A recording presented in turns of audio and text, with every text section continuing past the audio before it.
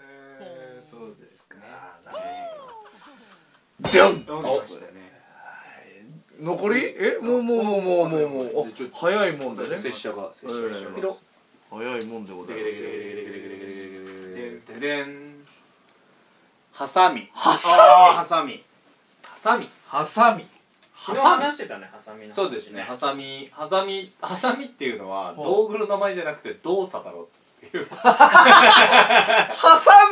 ていうこと。いやだからまあそれでも挟む。さそうそう目的をさ切ることじゃん。えトングみたいなのがうん。ハサミって言われるなら 箸とかね。使うんでね。そうそう使う挟んで。挟むから。ハサミは挟むことによって切るものなのにえなんでハサミなのハか。めっちゃ言ってたよ。あーなるほどね。どういうどういうことなんだよ。はあ確かに。最終目的は切ることですもんね。そうそう。うん。行為自体が道具の名前になってるものってそんなないなと思って。うん。おおあとあの左利きの人が右利き用のハサミで切ると切れにくいってあ言うじゃない。あ言いますね。なんでだよって。いや確かに。なんでだよ。ですよね。そうそうそう。だってだってこうなんていうの？こうやってるだけじゃはいはい右と左さお同じ作用じゃない？って思うんだけど。とえ確かに。これがいやどっちなのか分かんないけどね。うん。こうなの右と左でこう逆なんですよね。多分。そうそうそうそう。だからなんで右利き用のハサミや左利き用の左利きの人が使いにくいんだ？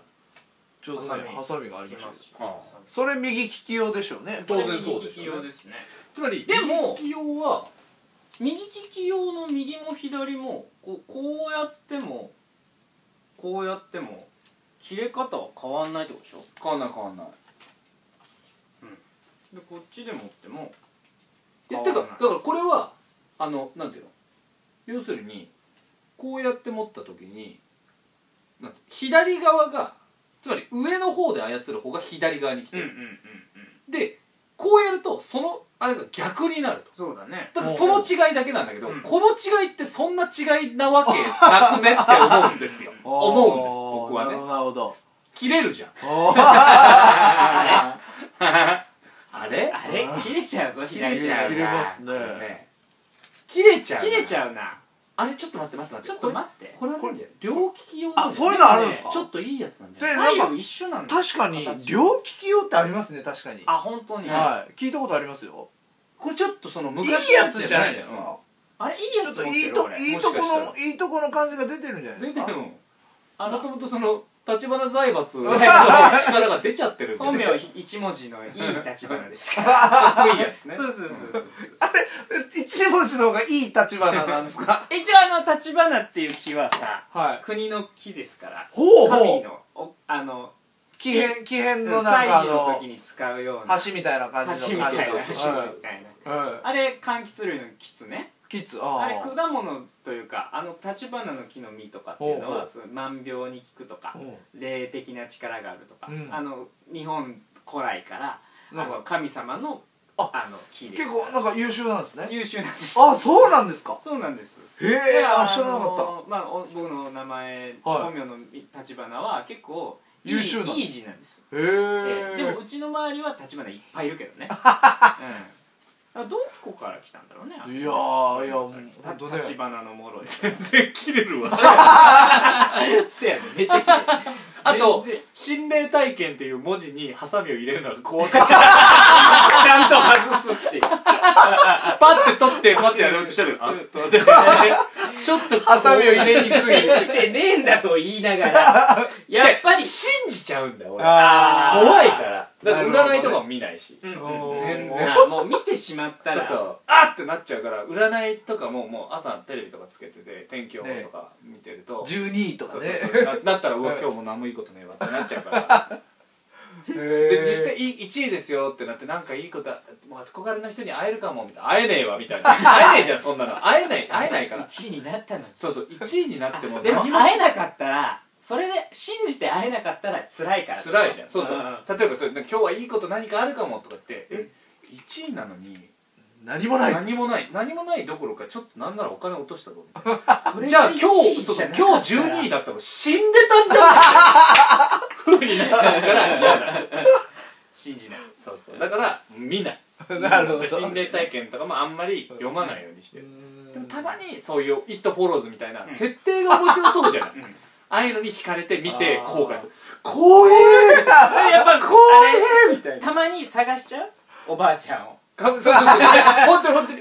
やっぱだから全裸のやつだから当然なんていうの？そういう日常には侵食しないようにうん。なってるわけ。そういう部分では、うん。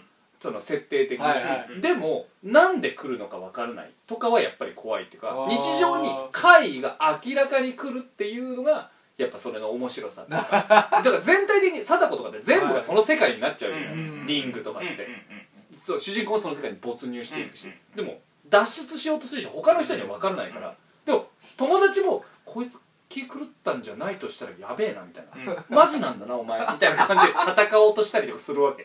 謎 のなんかでもそれ人たちは見えないからめっちゃ「来てる来てる!」かって「どどこどこどこ」みたいな「おばあちゃんどこ?」ここにみたいな。どこどこ?」みたいな「そこにいる!」みたいな。感じがちょっと面白かったりとか。